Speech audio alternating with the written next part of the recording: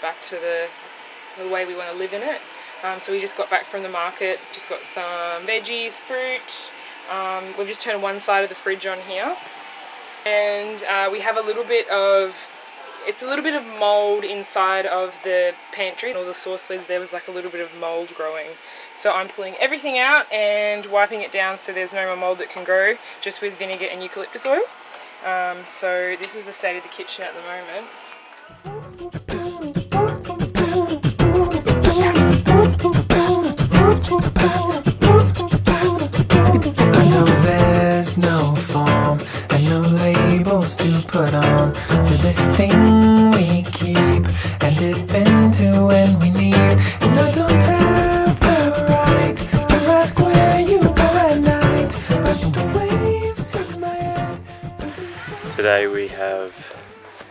Brought in the jerry cans. Lauren did a really good job of organising the boat. I put about 40, 50 litres of diesel in the boat.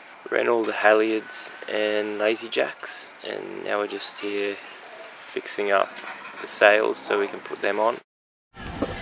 Today I'm having a look at our autopilot because it's a very important um, factor of the boat.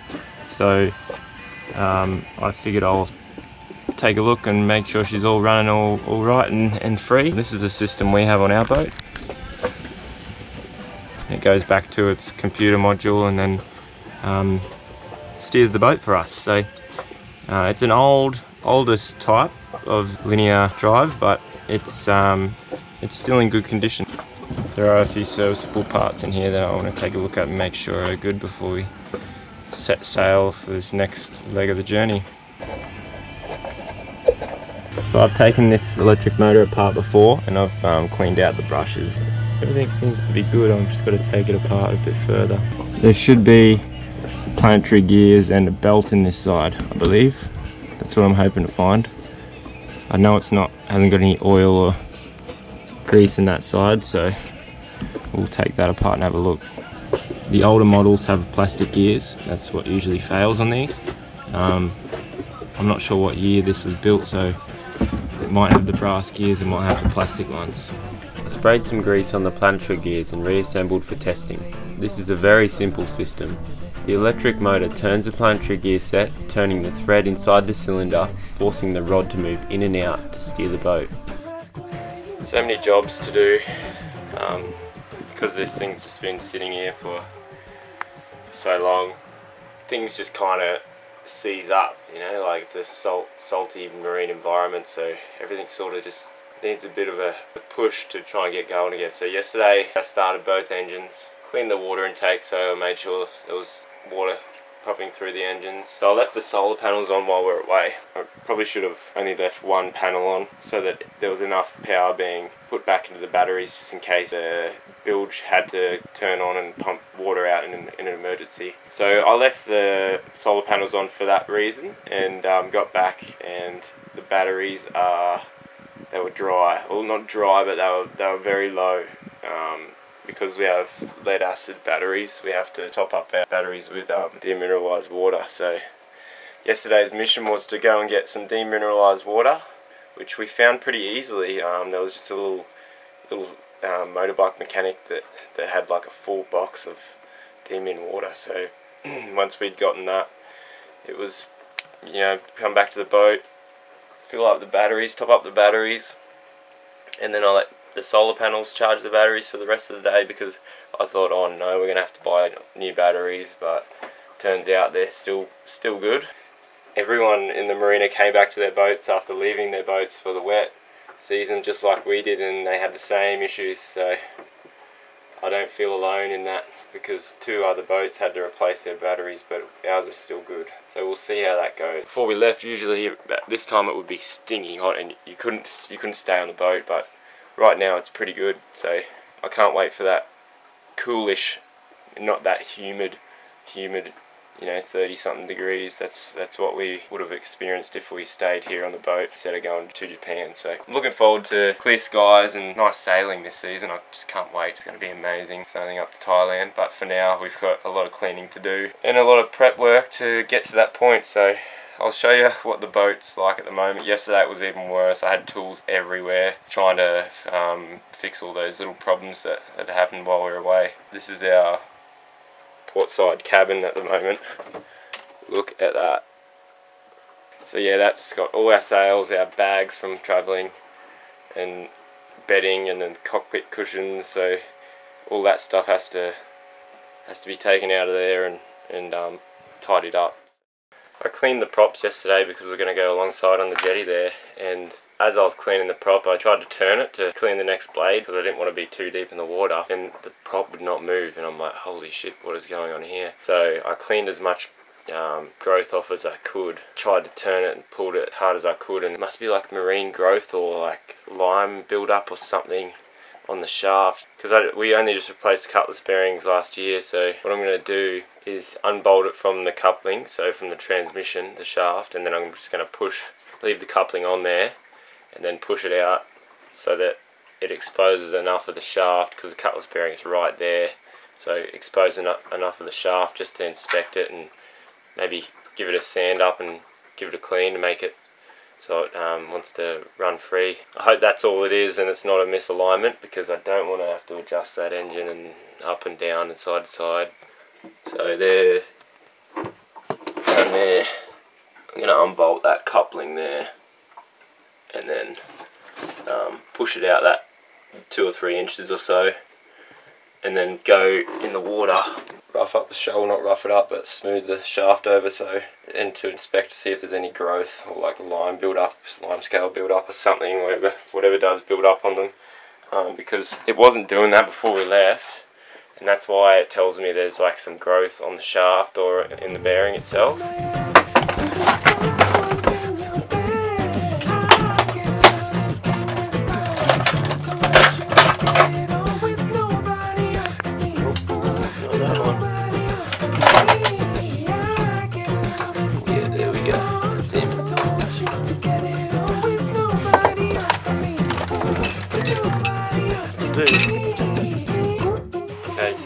back in the engine room. We're taking off soon and had a problem with the, this um, portside engine for a while. On startup just blows heaps of white smoke, white and black smoke. That is a sign of we have to give the injectors a clean up. Um, if we were in Australia I'd send them into a shop to be bench tested and crack tested but we're not in Australia so it's all going to be done by me here. I'm just going to clean them up, show you what's going on with this one. This is the number one injector right where the diesel comes out that spray pattern's supposed to be even it's supposed to be nice and perfect as it comes out of that injector so it can atomize and, and be burnt but right now I think there's just a bit too much carbon build-up if you could see that. I'll pull them apart um, clean that nozzle with like a toothpick or maybe like a swab of some sort just to clean all that carbon off and put them back in and hopefully the engine starts without blowing blowing so much white and black smoke. Obviously white smoke is um, unburnt diesel um, and black smoke is also unburnt diesel. So blue would have been a concern. If it was blue that would have been we're burning oil somewhere but it's white and I'm pretty sure this is our culprit so. I've had this dodgy dodgy dipstick for our transmission for a while now. Just plastic. Broke apart inside the actual housing. This is um, the one from the other side this is what it's meant to look like. And I've dodged up my own used that same steel part and then found a little black plug that I had in the toolbox. So it's still got a breather on top. I've glued that breather on top. Not a bad little fix eh Loz? Dodgy Dill at it again with a big pimple on his lip. Look at that it's huge Hello, Blue Moonies. Hello, Hello Blue guys. Moonies. Hello. We thought it was about time to check in with you guys um, in real time. So, the episode that you watched today was when we were back in Lombok, and now we are in Kumai. in the So- Kumai River. Yeah, anchored in Kumai River, um, which is uh, on the southern end of Borneo. Uh, the locals call Borneo, so the local Indonesians call Borneo Kalimantan. And we're going on a orangutan tour here. So this anchorage is actually really interesting compared to the last few that we've been at. It's a really big um, export hub, exporting things like Palm oil. That's the one of the biggest. one of the biggest, yep, crude palm oil, Yeah. uh, swiftlet's nests for bird's nest soup. So this whole the whole skyline is of the of the town is just bird's nest soup buildings, and you can hear them all night, all day. It's a very busy port. And also rubber, I believe, Laba. rubber. You would have noticed in the start of this video I was fixing or servicing the autopilot um, and just as we came into the Kumai River after so long it decided to to give up on us. So um, it's just the electric motor and we've got one on the way. So it was good timing actually. We came into the river and it decided to turn off. Um, I think it was uh, following seas you know we've been pushing that thing to its limits for the last few weeks We really have, and after researching the part, we found out it's like the unit's 20 years old. So, so it's going really good credit where credit's due, autopilot. You did, you, you know, you did well. You had a long run. they're simple um, design and they're still in use the same design but they just stopped making that actual mod- model Okay, so really important. A huge thank you to our patrons. Thanks Yeah, to everyone who's yeah been following the journey so far, and the people that have, you know, signed on to Patreon and become a patron. It's like so appreciated. yeah and it's adding up and helping us It's helping us so further. much. more camera gear um, even just provisioning and stuff we Yeah. notice we can use that that sort of money to do that it's awesome Exactly. keep us going for a little bit longer And finally, these shirts that have been in the pipeline are on their way. So my parents are actually due here in two days' time. Uh, so they are bringing the Blue Moon shirts with them. Uh, the Blue Moon shirts were made in uh, Bali, and they're actually made of it's either 40 or 60 percent recycled bottles, which is pretty cool. it's really cool yeah. You'll hear the noisy Kumai River in the background possibly right now.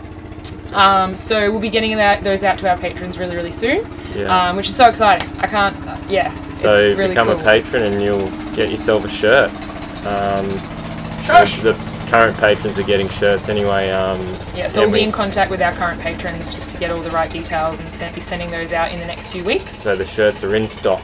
You would have seen in recent videos we've been wearing these Aleader f- shoes. We really like them and um, got some exciting news actually. That we have paired with Aleader Footwear to give one of our patrons a pair. So we're going to be running the campaign for about six weeks, and to all existing and new patrons, uh, we'll be drawing the name out of a hat in six, weeks' time. weeks. So become a patron and if you already are a patron you're already in the, already in the, in the draw. draw. And we'll actually put names in a hat or uh, pull a name out Pull them out. and um, whoever whoever that is gets the pair of shoes. Yeah, so Aleader will just send them directly from their warehouse, so you'll get to choose the size and then obviously pro- provide us the correct address, and they'll get sent straight to you. We really like the shoes. They're Yeah. lightweight, they can pack down and yeah. They're really cool shoes, and it's cool that we are able to share them with you guys as well. So yeah, so worked out well. look them up and see if you want to become a patron just for that and t-shirt you know there's something in it for you guys now and Yeah, we're finally able to give back, which is a really cool feeling. So we've had the patrons, you know, supporting us thus far, and now we're finally at the stage where we can get some things together to give back to you guys, which is really exciting. Yeah. Thanks again for everyone who's watching, and Thanks, yeah, we appreciate it. And it's awesome to be able to share what we do with Yeah. you guys it's um it's an awesome lifestyle it's very stressful and we're don't forget that. the upcoming videos we are You're about to stressed out a lot um, Yeah. but you know it is worth it in the end Generally speaking, the good outweighs the stressful times, but we have our fair share of stress. Like Mm. Dylan said, you'll see that in the upcoming videos. yeah So yeah, it's just really cool we can share this with you and finally give some something back to you guys. And thanks for watching and have a great weekend. see you guys Bye. If you're interested in where we might be in real time you can follow us on instagram and facebook This channel is funded by our beloved patrons. Did you know Sailing Blue Moon episodes are released exclusively to our patrons each and every Friday? If you want to know more about us and our story, or you'd like to pledge your support, check us out on Patreon. There's tons of exclusive patron only content, blog posts, homemade skincare ideas, healthy recipe alternatives that we use, plus some Blue Moon shirts in the pipeline. In addition to the subscribe button, click the little bell to the right to be notified of new weekly episodes. Thanks for watching, Blue Moonies.